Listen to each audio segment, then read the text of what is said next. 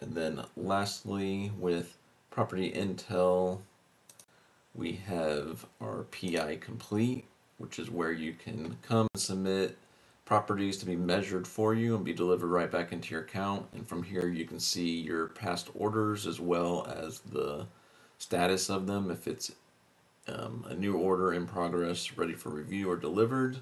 And it's simple. You just come up here and click new request, type, give it a name, type in the address, and then continue on to doing the parcel boundaries and um, the features that you want. And it will go ahead and submit it, and we'll get working on that and get that back to you.